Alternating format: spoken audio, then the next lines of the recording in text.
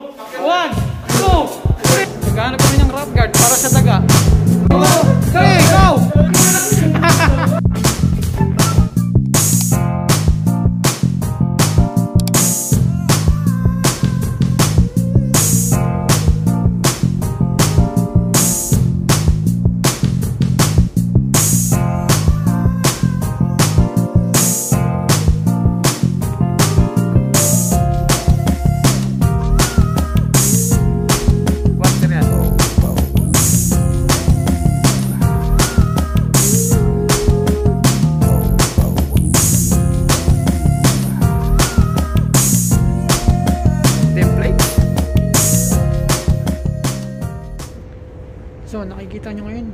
Padikit kami ngayon.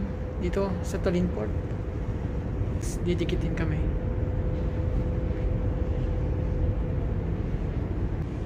Kasi may mga needs ang barko.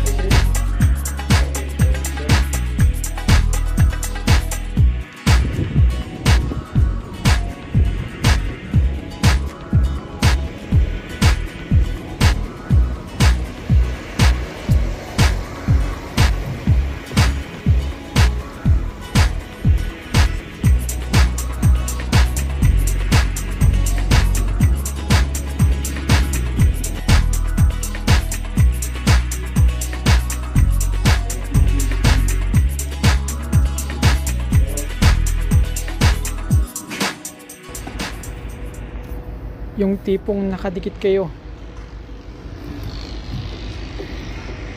sa puerto. Tapos di ka makalabas. Ang saklap nito. Yung makikita mo yung mall, oh.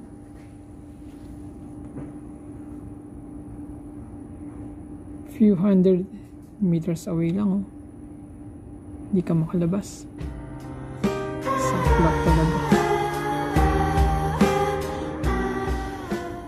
Stand by for mooring. Stand by ka. Oh, one more, one